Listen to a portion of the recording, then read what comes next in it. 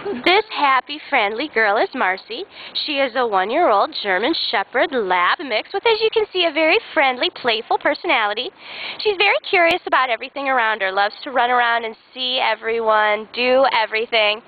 She'd be great in an active home, someone that could just help her work out some of that energy, maybe play, teach her to play fetch or take her for long walks.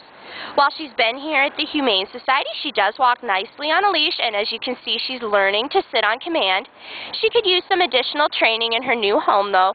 We're hoping she'll be pretty trainable because she seems to be pretty, very smart, very eager to please, and she loves treats and takes them very nicely. It looks like she's giving you a great big grin. She's just a happy, friendly girl who's going to make someone a great pet.